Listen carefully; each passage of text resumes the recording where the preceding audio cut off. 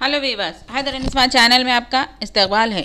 आज की वीडियो में हम मौजूदा हालात के पेश नज़र एनजाइटी को मैनेज करने के तरीके सीखेंगे। वीवर्स अगर आपने अभी तक मेरा चैनल सब्सक्राइब नहीं किया है तो आपसे गुजारिश है कि प्लीज़ आप मेरे चैनल को सब्सक्राइब करें और बेल आइकन को ज़रूर प्रेस करें, ताकि जब कभी कोई नया वीडियो आए, आपको इसकी इतला मिलती रहे। चलिए वीवर्स हम आज की वीडियो में एनजाइटी को मैनेज करने के चंद नुकात पर रोशनी डालते हैं। वीवर्स जिस तरह हमारी जिस्मानी सेहत अहम होती है, ठीक इसी तरह हमारी जज्बाती सेहत, यानी इमोशनल हेल्थ भी काफ़ी अहमियत की हामिल है। हम जिस्मानी तौर पर तो सेहतमंद रहने के लिए बहुत कोशिशें करते हैं, अपने जिसम को फिट रखना चाहते हैं, ठीक उसी तरह हमारी जिस्मानी, हमारी जज्बाती सेहत, यानी इमोशनल हेल्थ को भी फिट रखना बेहद ज़रूरी है। फिल वक्त जो हालात है करोना वायरस और कोविड 19 के ख़तरे की वजह से बहुत सारे लोग तशवीश में मुबतला हैं। तशवीश इसलिए है कि इस वायरस ने हमारी रोज़मर्रा की ज़िंदगियों को तहस नहस कर दिया है। इस वायरस की वजह से हम पर मौत का खौफ मंडलाने लगा है। हर शख्स तशवीश में मुबतला है, घबराहट और बेचैनी इनके चेहरों पर साफ़ नज़र आ रही है। कोरोना की वजह से जो तशवीश हमें लाक है, इसको मैनेज करने के लिए जन ज़रूरी नुकात पॉइंट्स पर मैं आपको बताऊँगी, जिस पर अमल करके आप एनजाइटी से बच सकते हैं। पहले तो आप ये जाँच कीजिए कि आपके इस बीमारी में मुबतला होने का रिस्क कितना है।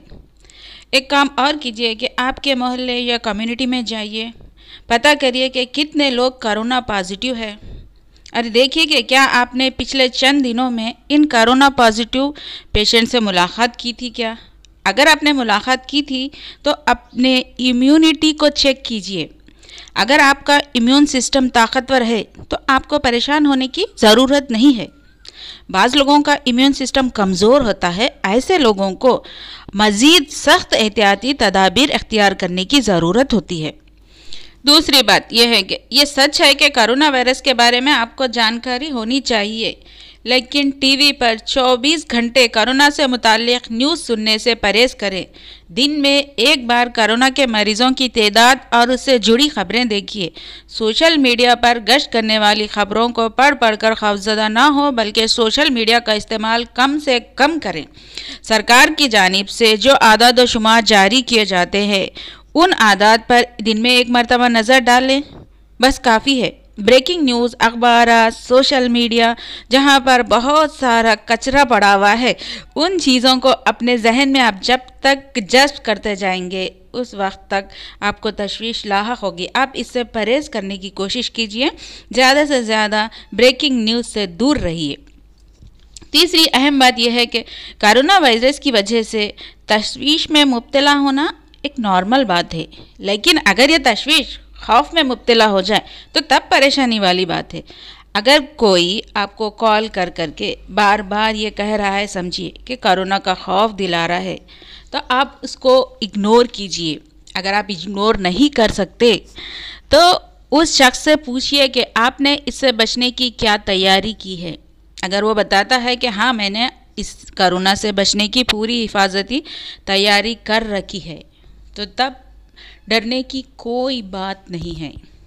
चौथी अहम बात यह है कि कोरोना को फैलने से रोकने के लिए चंद एहतियाती तदाबीर अख्तियार करना चाहिए, जिस पर अमल करते हुए हम इस बीमारी से महफूज रह सकते हैं। जो लोग बीमार हैं, उनके करीब जाकर मिलने से गुरेज करने। अपने आँख, नाक और मुँह को बार बार छूने से परहेज़ करें। वक्फे वक्फे से अपने हाथों को 20 सेकंड तक साबुन और पानी से धोते रहिए।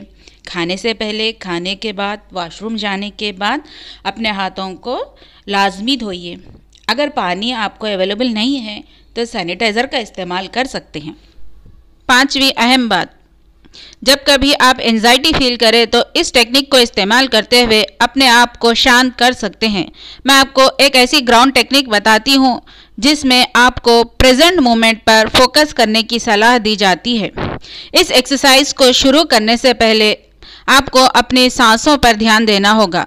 धीरे धीरे लंबी और गहरी सांस लीजिए और अपने आप को शांत महसूस कीजिए।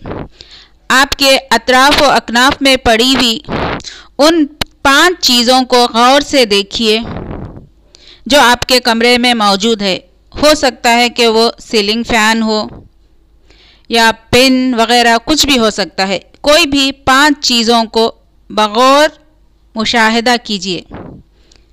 उसके बाद आपके पास मौजूद चार चीज़ों को टच कीजिए। मिसाल के तौर पर पिलो हो सकता है या आपके कपड़े उनको छू कर देखिए या आपके बाल वगैरह कोई भी चार चीज़ों को टच कीजिए। और इस टच को महसूस कीजिए। इसके बाद अपने अतराफ चल रही या आ रही कोई तीन आवाज़ों को गौर से सुनिए। ख्वा वो घर के अंदर से आ रही हो या बाहर से आ रही हो। मिसाल के तौर पर घड़ी की टिक टिक की आवाज़ भी हो सकती है, किसी चिड़िया की आवाज़ हो सकती है। कोई भी तीन आवाज़ें गौर से सुनिए। उसके बाद दो चीज़ों को सूंघने की कोशिश करिए। मिसाल के तौर पर पेंसिल की खुशबू हो सकती है या घर में मौजूद साबुन या कोई भी चीज़ उसकी खुशबू को सूंघने की कोशिश की। उसके बाद किसी एक चीज़ को चखिए। मिसाल के तौर पर चिंगम या चॉकलेट या मिठाई, कोई भी चीज़ अपने मुँह में रखिए और उसका जायका महसूस कीजिए। तो ये थी वेवर्स एनजाइटी को मैनेज करने की टेक्निक जब कभी आप महसूस करें कि आपको एनजाइटी हो रही है, तब इस टेक्निक को इस्तेमाल करें. अगर एनजाइटी को मैनेज नहीं कर पा रहे हैं, बहुत ज़्यादा परेशान है तो अपने डॉक्टर से सलाह ज़रूर लीजिए या किसी साइकोलॉजिस्ट से मुलाकात करिए और उसको अपनी परेशानी बताइए. वे बस आपको ये वीडियो कैसी लगी? कमेंट करके ज़रूर बताइए. शुक्रिया.